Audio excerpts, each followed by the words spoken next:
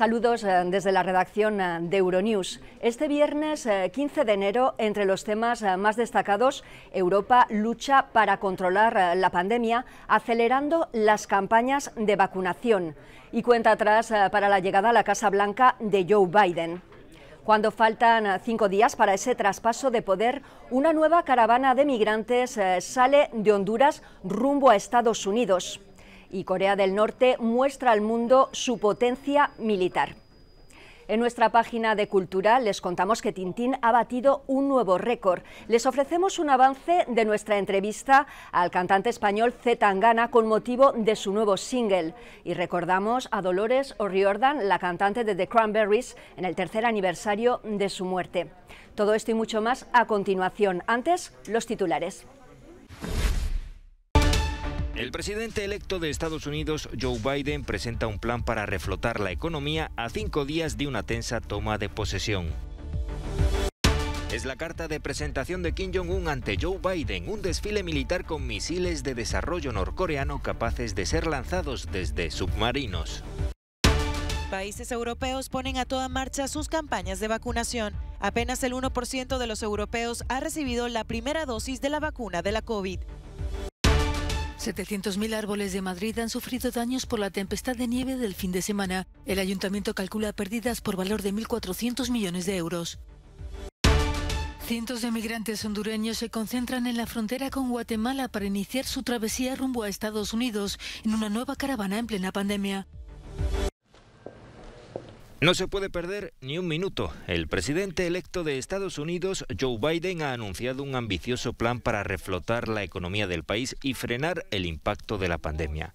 Pero a falta de cinco días para la toma de posesión, lo que más preocupa en Washington tras el ominoso asalto al Capitolio es la seguridad antes, durante y después del traspaso de poderes. Con Donald Trump fuera de los focos, Mike Pence parece haber asumido el papel presidencial y ha hablado con las tropas de la Guardia Encargadas de velar por la seguridad del evento. El vicepresidente saliente también se ha reunido con el mismo propósito con el FBI, que hace unos días alertó de la posibilidad de acciones armadas de seguidores fanáticos de Donald Trump en los días previos o durante la toma de posesión de Joe Biden. Mientras prosiguen los preparativos de la toma de posesión, avanza también el proceso de impeachment contra Trump por incitación a la insurrección que inició el miércoles la Cámara de Representantes. Todo apunta a que no llegará al Senado hasta el próximo día 19, el último día de mandato de Trump, y que no concluirá hasta mucho más tarde. Si es declarado culpable, echará por tierra sus aspiraciones a presentarse a las elecciones presidenciales de 2024 y perderá los beneficios de los que gozan los expresidentes en Estados Unidos. Es la carta de presentación del régimen norcoreano ante la futura administración Biden, un desfile militar para conmemorar la celebración del Congreso del Partido Único en el que se ha reforzado la figura de Kim Jong-un como líder indiscutible del país. Durante el desfile, Corea del Norte ha exhibido misiles balísticos de desarrollo diseñados para ser lanzados desde submarinos y otros equipos militares, armas con las que podría alcanzar el territorio estadounidense, pero también a países vecinos como Japón. Todavía estamos analizando los detalles, pero Japón siempre ha recogido información sobre Corea del Norte, incluyendo el desarrollo de sus misiles, con gran atención, y lo estamos investigando. La parada militar ha tenido lugar a solo cinco días de la toma de posesión de Joe Biden como presidente de Estados Unidos.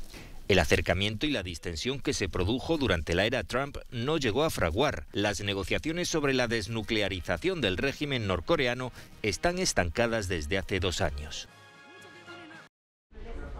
El gobierno francés ha reanudado su plan de vacunación. Como la mayoría de los países, Francia comienza por los más vulnerables. En este hospital a las afueras de París, un poco más de 200 pacientes crónicos han recibido la vacuna de la COVID hasta este jueves. Es una vacuna bastante joven, que no fue desarrollada hace mucho, así que reflexioné sobre los efectos secundarios. Pero sé que hay más beneficios que dudas. El primer ministro Jean Castex sigue siendo optimista sobre el ritmo del plan francés. A la fin du mois de janvier. A finales del mes de enero tendremos más de un millón de personas vacunadas, que era nuestro objetivo inicial. Este resultado no se debe solo a que hemos recibido más vacunas, sino también a que hemos retrasado una semana la administración de la segunda dosis y estamos observando muchas menos pérdidas en la aplicación de las dosis. Por su parte, Reino Unido planea vacunar a 15 millones de personas de alto riesgo para mediados de febrero. Para llegar al objetivo, algunas farmacias locales en toda Inglaterra comenzaron a vacunar a las personas vulnerables este jueves. Como Reino Unido, otros países desarrollados son optimistas sobre sus campañas de inmunización. Pero la OMS está diluyendo el optimismo y advierte sobre el riesgo de acaparamiento de vacunas. El 95% de las 23,5 millones de dosis administradas en todo el mundo se encuentran en tan solo 10 países. No podemos permitir que ningún país o comunidad se quede sin vacunas.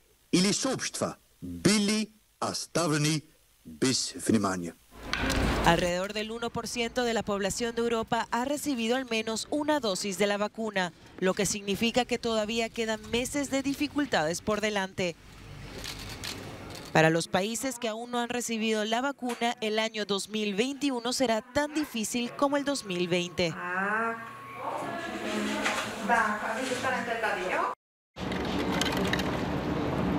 La Antártida deberá esperar. El buque oceanográfico de la Armada Española Espérides cancela su viaje al continente blanco por un brote de COVID-19, con 35 positivos entre sus 57 tripulantes.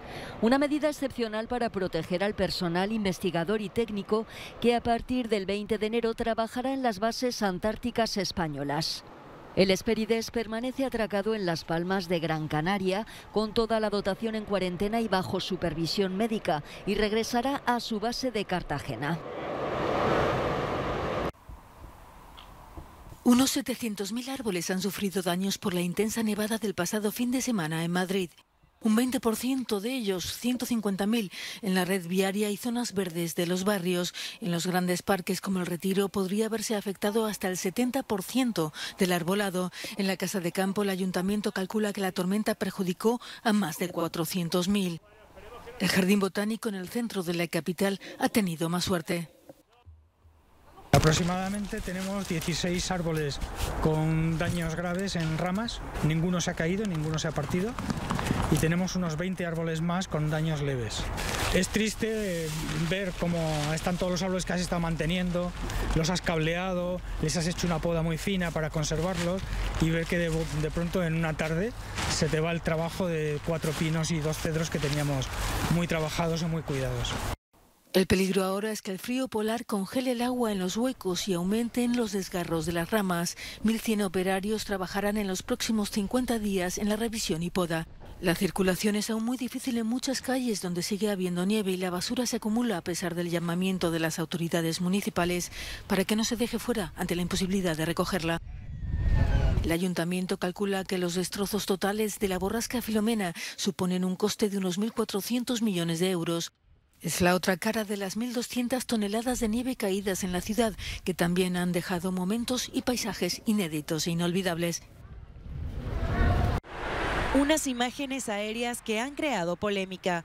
De cerca podemos ver cómo una gran extensión de residuos plásticos se aglomeran en el río Iskar en Bulgaria.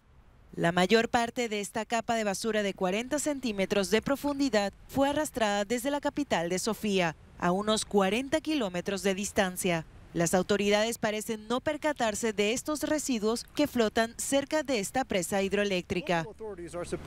Las autoridades locales deben limpiar la basura que se pueda acumular en los ríos, ya que supone un riesgo de inundación cuando hay lluvias torrenciales como en los últimos días. La ciudad de Svoge, ubicada a solo unos kilómetros del lugar, atribuye el fenómeno a la gente que utiliza el río como vertedero.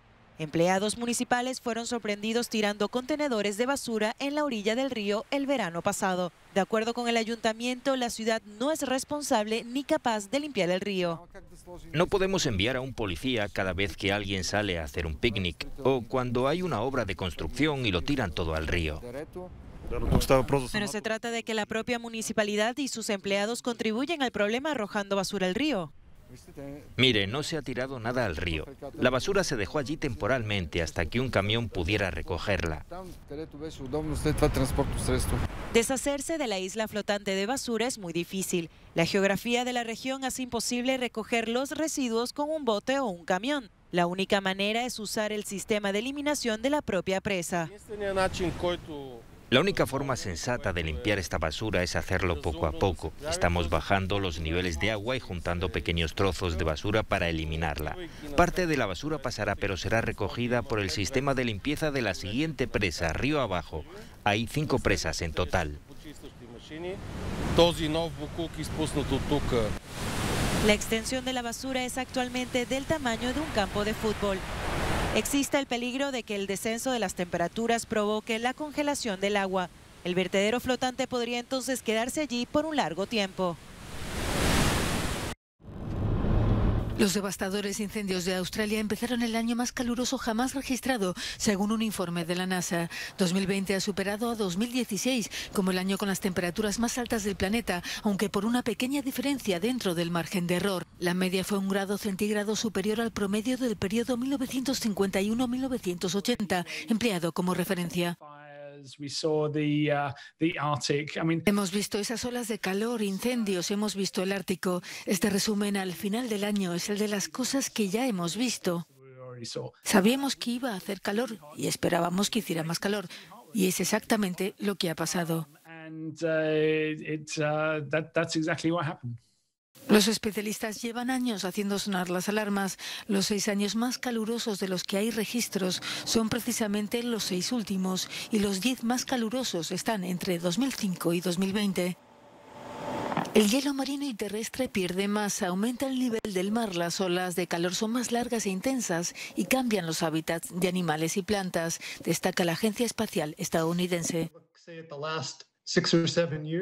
Si te fijas en los últimos seis o siete años, se diferencian de los registros previos. En mi opinión, era un indicio de la aceleración del aumento de la temperatura media mundial.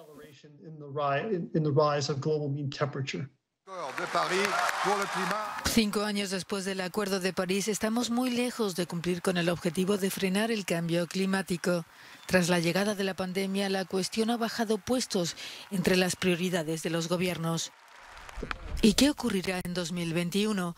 Acabamos de ver la tempestad de nieve caída en España. Los científicos también atribuyen estas olas de frío al cambio climático.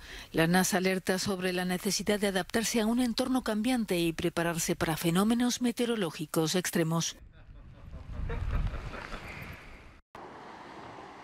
Temperaturas especialmente bajas e inusualmente prolongadas en Siberia. La región de Sajá-Yakutia experimenta estos días la ola de frío más larga de los últimos 14 años, con temperaturas de hasta 40 grados bajo cero por espacio de más de un mes. Un periodo anormalmente largo incluso para esta zona del mundo. Los locales dan algunas pistas de cómo sobrevivir en semejantes condiciones. Lo principal es no quedarse en un lugar, seguir siempre adelante. Eso es primordial. Cuando te mueves te mantienes caliente. Se esperan temperaturas esta semana de 50 grados bajo cero. Ante semejante panorama, y como no podía ser de otra manera, las escuelas han sido cerradas y los niños deberán permanecer en casa. El reciente frente frío es un fenómeno normal en nuestra República. Pero en los últimos 14 años, desde 2006, no habíamos tenido un invierno tan duro, desvelan desde el Centro Meteorológico.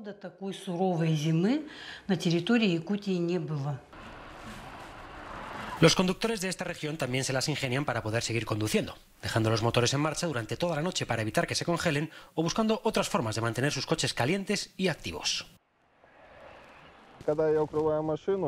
Tengo un temporizador conectado a la alarma, explica este conductor. De modo que si la temperatura interna cae a menos 10 grados, el coche se enciende para calentar el motor, después de lo cual se apaga de nuevo.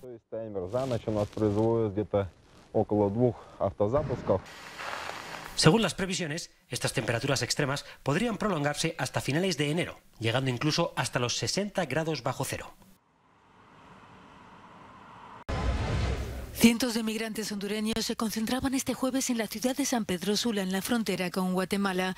Su objetivo, llegar hasta Estados Unidos, a pesar de que los gobiernos del país vecino y de México ya les han advertido de que no los autorizarán a atravesarlos de forma ilegal.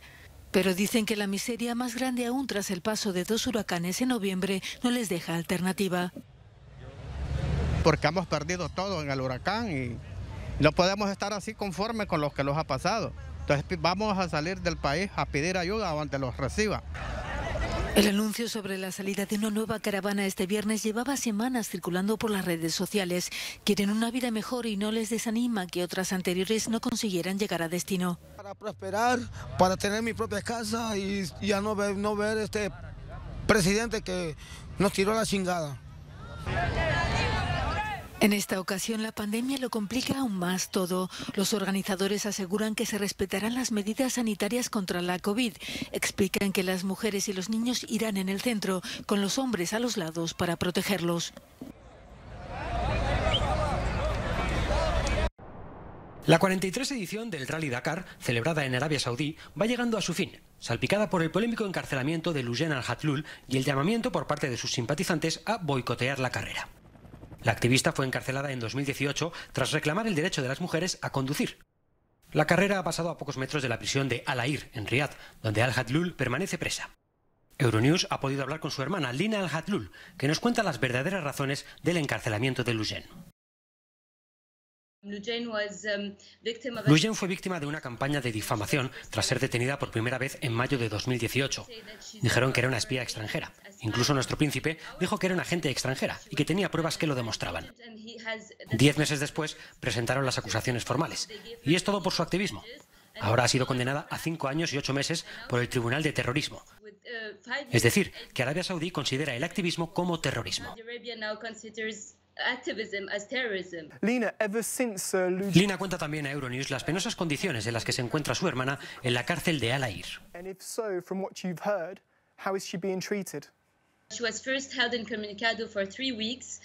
Primero estuvo incomunicada durante tres semanas y más adelante nos permitieron hablar con ella por teléfono. Uh, Después de un par de meses, mis padres obtuvieron el permiso para visitarla. uh, Se quedaron muy impactados por lo que vieron. um,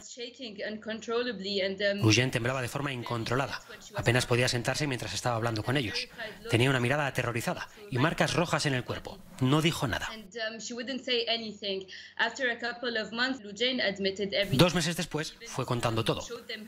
Les enseñó los muslos, totalmente llenos de moratones a causa de las descargas eléctricas.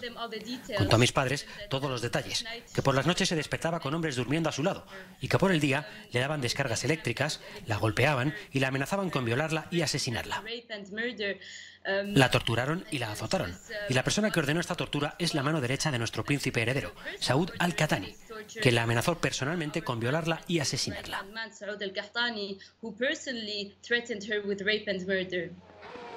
Human Rights Watch denuncia cómo Arabia Saudí utiliza desde hace tiempo el deporte con inversiones millonarias para tratar de blanquear sus constantes violaciones a los derechos humanos. La ONG ha tratado de recibir algún tipo de reacción por parte de Amauri Sport, empresa organizadora del Rally Dakar, si bien de momento ha sido en vano y el show continúa. Batacazo bursátil de la tecnológica china Xiaomi tras entrar en la lista negra del Pentágono. Las acciones del fabricante de teléfonos han caído más de un 11% en la apertura del mercado de Hong Kong debido a los temores de los inversores. Entrar en la lista negra del Pentágono significa que ninguna empresa o inversor estadounidense puede invertir en esa compañía. El Pentágono alega razones de seguridad debido a un presunto vínculo de estas empresas con el ejército chino. Por el momento, nueve grandes compañías del gigante asiático, entre ellas Huawei, están vetadas por el Departamento de Defensa estadounidense. Xiaomi se convirtió el año pasado en el tercer mayor fabricante de teléfonos inteligentes del mundo, superando a la compañía estadounidense Apple. Tintín no se cansa de batir récords. La portada original de El Loto Azul, la quinta aventura del famoso reportero, fue vendida este jueves por 3,1 millones de euros.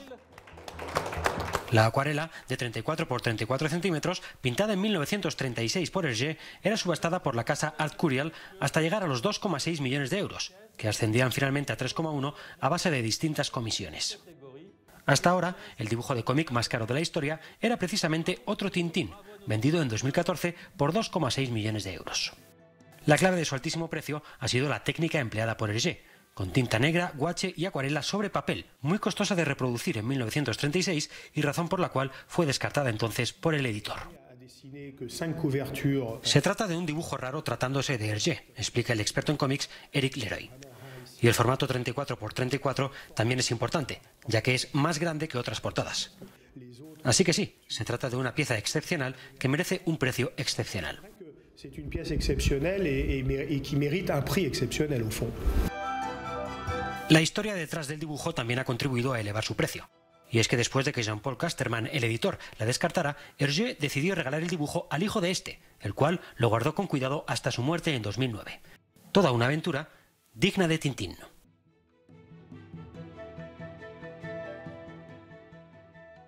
No puedo más que pensar en tu forma de hablar. Roneando. Poco queda ya del trapero provocador.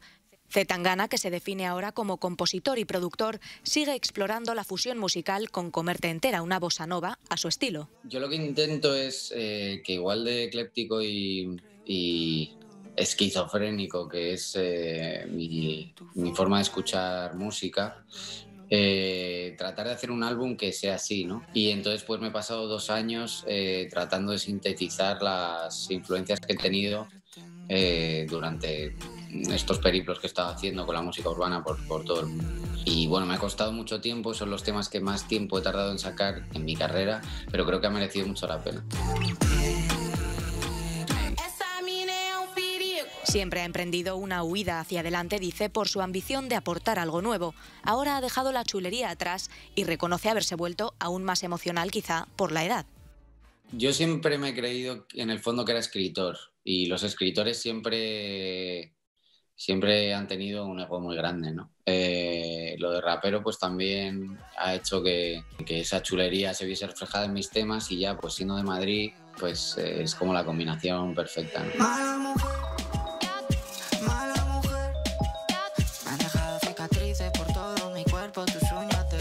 Creo que este, esta última etapa eh, sí que estoy muy emocional, aunque es una parte que siempre he tenido en mí, siempre he sido emocional, mi música desde crema, y luego también es un poco más espontánea, no es tan performática, ¿sabes? El mayor reconocimiento le está viniendo de las colaboraciones y el respeto que recibe de artistas como la húngara o Toquiño, que entienden la música de forma diferente.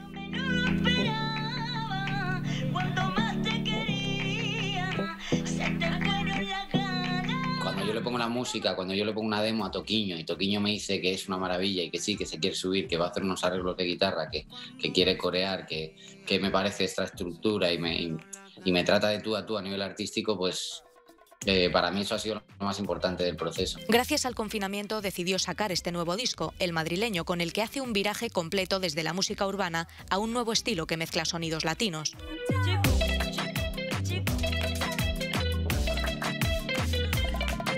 Como Antón Álvarez, Crema o el madrileño, Zetangana todavía tiene mucho que decir. Como lo haga, seguro será una sorpresa.